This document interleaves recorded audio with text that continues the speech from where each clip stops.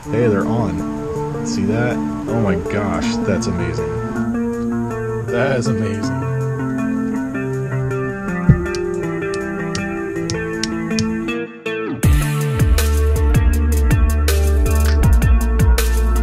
Holy crap, look at that. Doing something. This is exciting. I thought I wouldn't get much out of that. I wasn't sure. I've shown my successes in these videos before, but I wanted to show all of my footage of me experimenting with different ideas. I did test this once and I got a reading off of it. Some of them seemed kind of ridiculous because it was based off of maybe a simple image with no information, but I tried every idea I had. um, I haven't really figured out how to do this yet. I now better understand what is happening here. As the video goes, I'll post a picture or a graphic of what I was learning because looking back, I could see what I was trying to do. Well, there you have it. Here's a flashlight that's run on cement. I'm going to try to just present these videos as uncut as possible based off of these small successes. I know that there is incredible technology that we can have in our hands that we ourselves can make in our own backyard.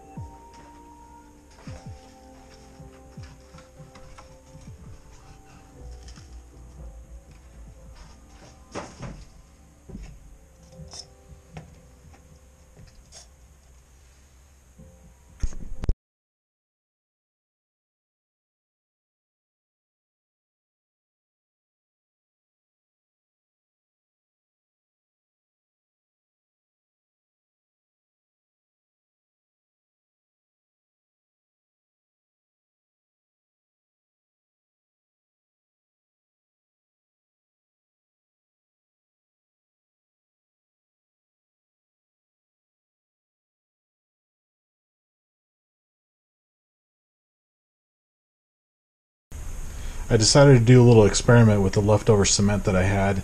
I put a little quartz rock in the center with the cement all around, with the copper plate on the bottom, and a little uh, aluminum plate on the top. This way, I felt like it gave me more surface area to adhere to the copper and the aluminum. We'll see how that works.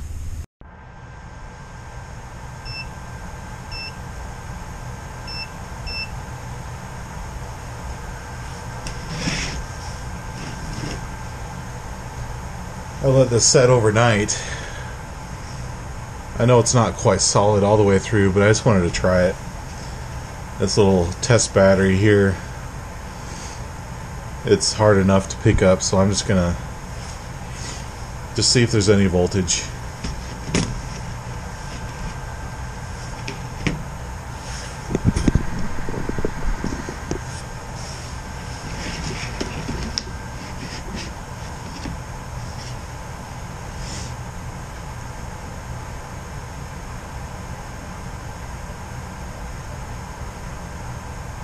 One point one five seven.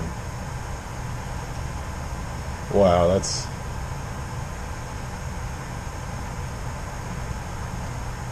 it's actually encouraging. This one. Try the smaller one. Wow. One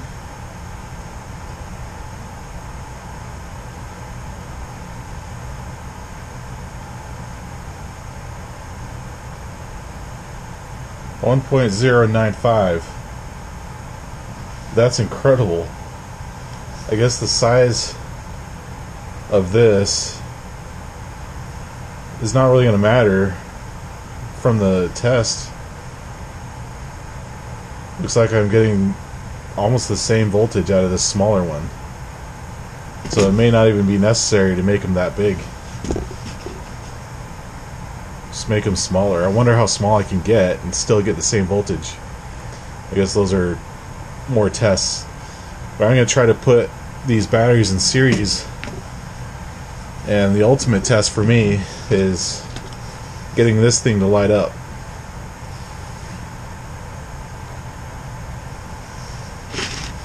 So I'm not experienced on getting the getting something in series, but basically, from what I understand, it's just basically just putting a couple batteries like this. The positive goes to the negative terminal on the other battery, and so it doubles the voltage. So these two AA batteries are 1.2 volts each. So when you put them in series, makes 2.4 volts. And that's how much is needed to power that this LED light, this array. So that was my goal is to get at least 2.4 volts, the same as these two AA batteries. And so I might have enough volts out of these batteries collectively to light this thing up. So I'm going to hook it up and see what I can do.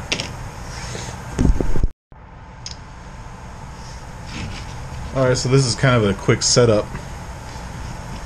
So basically what I'm doing with these two batteries right here, I'm just basically just doing this. And I could take this one and just put it on top like that, which I probably will later. Just do like that. It's just the same thing. But instead, I just took a wire and connected the top with the side there. So, positive with the negative, so it's in series right now. So, with these two added up, I'm just going to see how many volts I get if I if it works. The problem is I have to try to find out where it connects uh, as far as the little. See, I could go on the side, but I'm not sure if it works like that.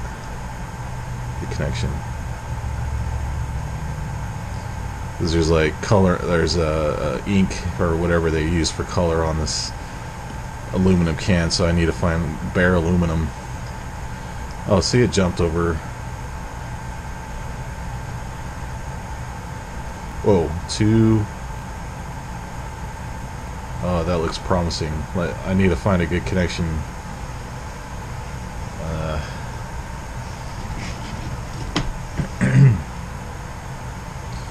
little wire sticking out there. Two point something.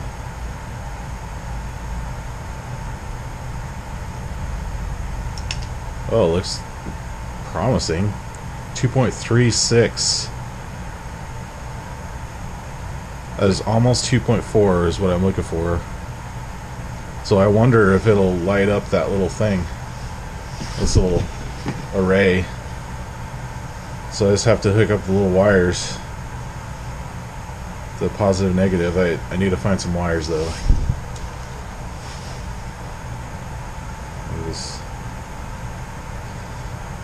I might have to prepare this a little bit so um, these wires are so tiny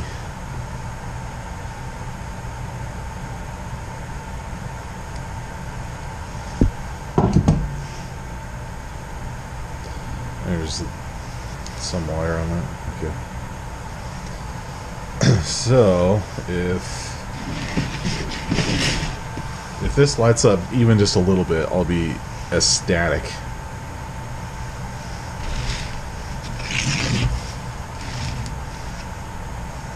Let's see.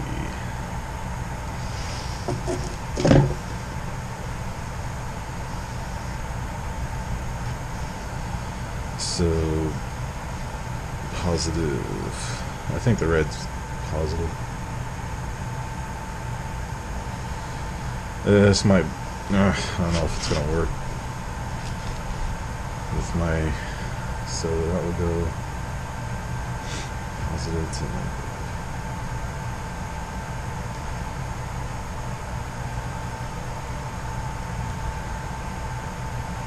negative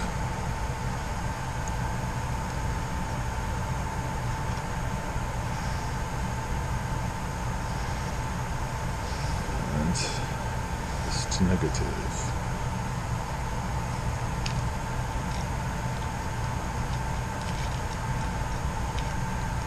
Just looking for a little light. That's all I want.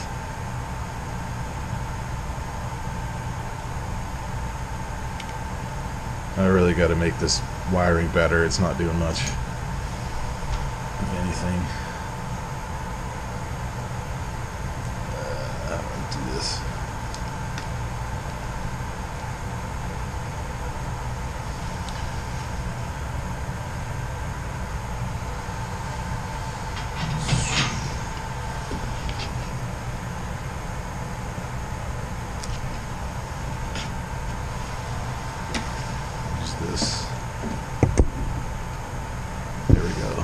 This will work better. okay.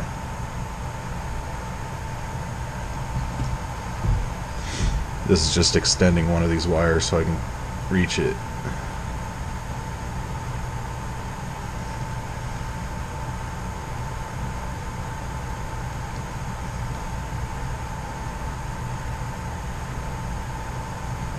No way. Oh my gosh. Come on. hey, they're on. See that? Oh my gosh, that's amazing. And they're supposed to be flashing. But they just need more power. Dude, that's awesome. Okay, that was the ultimate test of getting a little LED light to light up with nothing but these batteries. So I I wrote down the mix on these. This one is just the cement with the, the rock in the middle of the copper coil there. It's, it's just Portland cement you could buy from Lowe's. I bought a huge bag of it for like, I don't know, 15 bucks or maybe, it was under 20 bucks, but huge bag of it. I don't know how many pounds. It was 100 pounds of it. I don't know. This one was a mixture of Portland cement and just kind of some Epsom salt powder stuff that I prepared. I don't even think that's necessary. The Epsom salt stuff. Epsom salts are basically the same as a you know a crystal that holds the charge in it. So anything that crystallizes is going to hold a charge. That's that's what I'm starting to understand. So I mean I have this tourmaline, I put little particles in there. I just threw a little mix it together. It wasn't anything that I did that I saw on YouTube or anything. It was just like, oh, I'll just mix a bunch of the stuff, see what it does. So it gets the same result as this. Pretty much. So I'm not even sure if the rock that I put in there is even necessary. It might even just be the cement getting a charge out of it. So let's do more tests, but I have ideas that are going to keep going. I have some ideas I don't want to mention yet because I I want to make sure these tests work before I get to that. But maybe I'll put this little guy in series to these and then see if this LED array will light up even more. This should light up and blink like or they should all just light up like pretty bright. So we'll get to that far. Alright, here's the moment of truth. I'm just gonna set this on here. There's I just kind of set this other battery on top of the of there. This is rested on there. I'm just doing just a quick little test. I'm not setting it up really. I'm just for a permanent thing. I'm just seeing if it'll work. So, um, I'm not sure if I have this correct. Um, I don't think this is right. Let me, uh,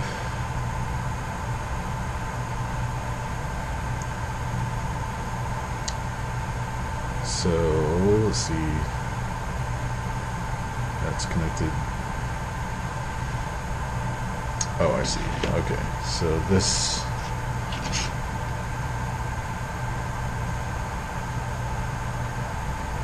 This needs to go here. No.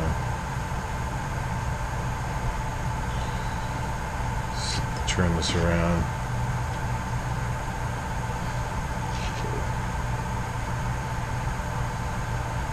That needs to go here.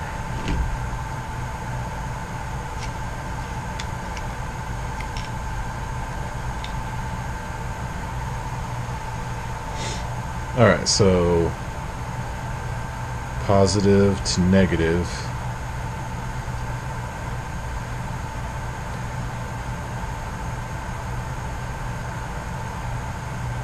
Positive to negative.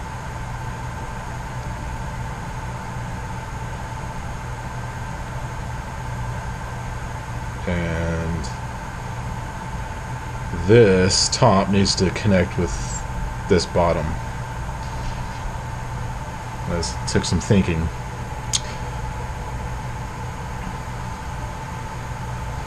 Uh, let's see. This is kind of tricky. So positive. So if this lights up brighter, then we got something going on here. Oh, look at that. I saw some of it.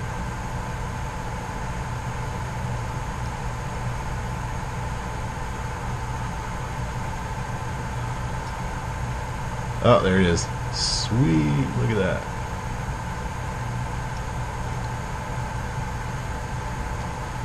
Well, look at that. Oh, look at what we got here.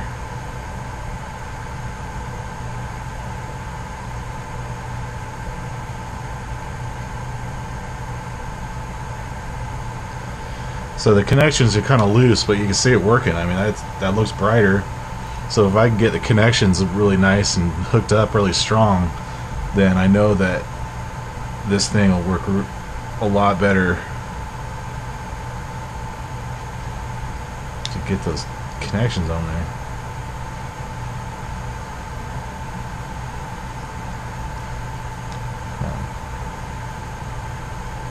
Well, looky at that.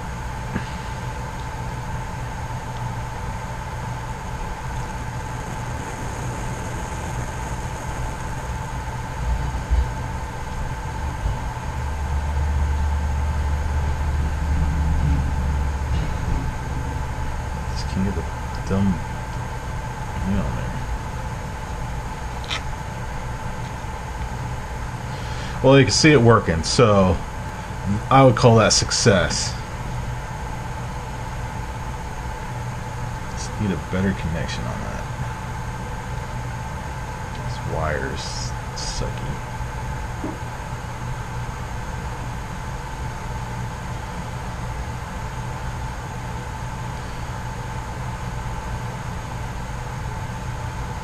Mm.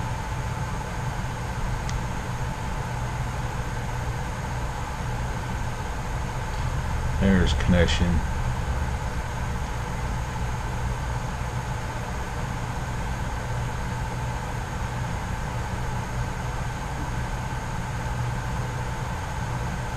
Alright, I'm satisfied. I'm getting light out of it, so I'm satisfied. And this is coming apart. Just keep that drying. So, I feel like if I'm getting almost the, uh, about the same voltage as these two, I could make a bunch of more of these and just put them in series like a battery, like these two batteries, and just do a bunch of them. Make the connections really good, and uh, make this flatter. Make this as make it more uh, conducive. Uh, make some more rocks. I don't know. I don't even know if I need the rock in there. I, I might need to experiment with that, but I feel like if you're getting some voltage, a volt, just think of 12 of these. You got a 12 volt battery that basically recharges itself, keeps a charge. So I have more ideas coming. It's it's uh, I don't want to jump too far too soon with my thoughts because I, I need to test them first. But I I'm excited that this happened because now I can move on to some other tests. And th- this is extremely exciting to me because that happened. So th- it's basically making an earth battery. That's what I think. Just the minerals in here, which are basically all this stuff crushed up, and you make it a solid again, and it has connection and get the electricity out of it. All right, we'll keep going. I'll just show you real quick about the concrete. I'm going to go further into this test, and this one was interesting. This is my first battery that I made, but I, I did get a volt out of it. A little more than a volt. And depending on the temperature outside or whatever, or inside, then it'll it'll fluctuate. If it's colder, it'll be lower. If it's hotter, it'll be higher. And I could show you what it does when it gets hot.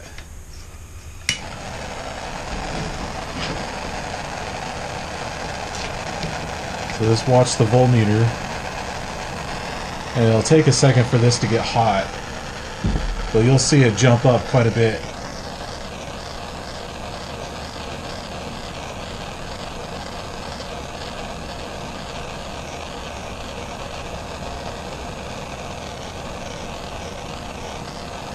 It's got to absorb the heat until it hits the copper rod, but it'll start jumping up there.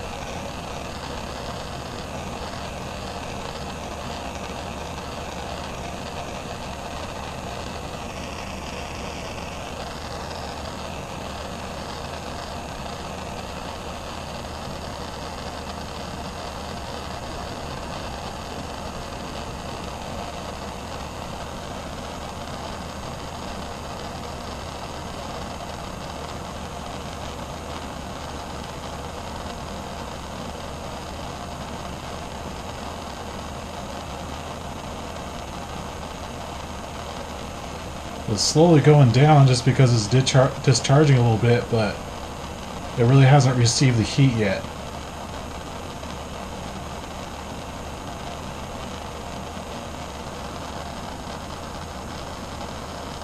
See, now it's starting to jump up. There you go. I wasn't holding it on there long enough, I guess. I put it on there really close, then it'll. There you go. So it's starting to melt the can, but you can see that the heat definitely affects it.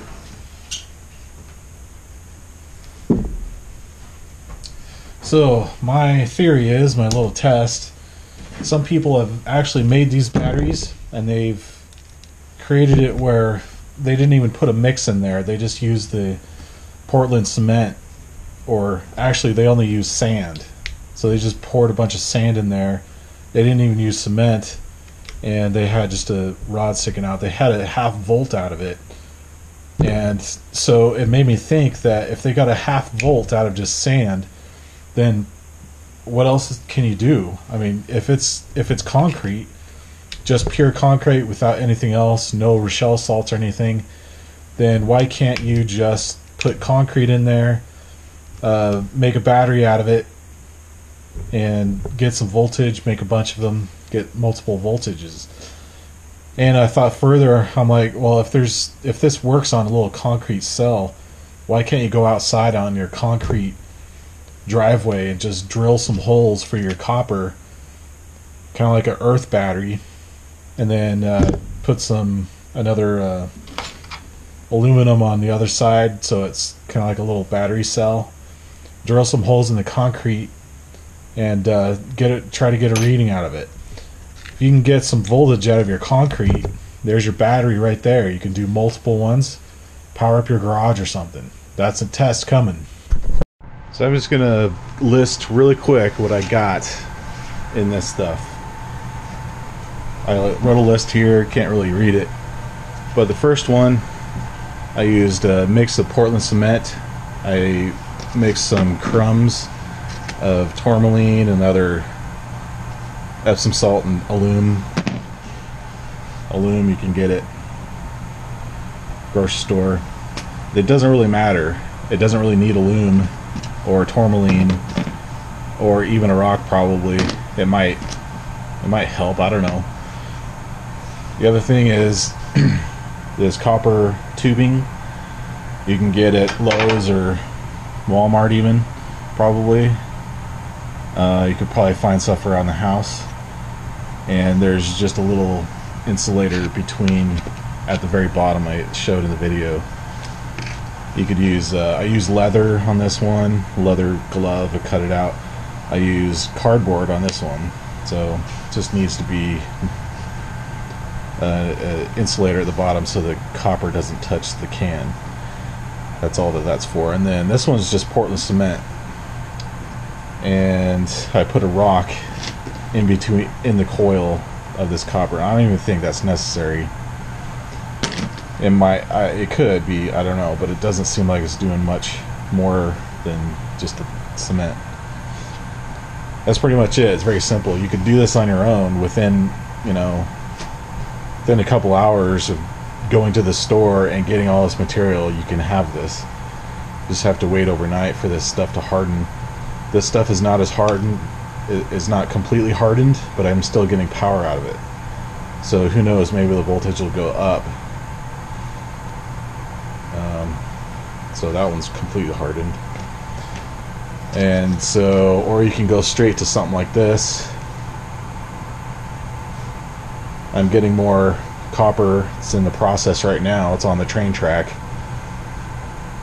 I just can't go get it today because there's snow that fell yesterday and I won't be able to find it yet so I have to wait for the snow to melt a little bit before I get get my processed copper but I'll have more copper to work with once I get that in there. So this thing works. It's confirmed.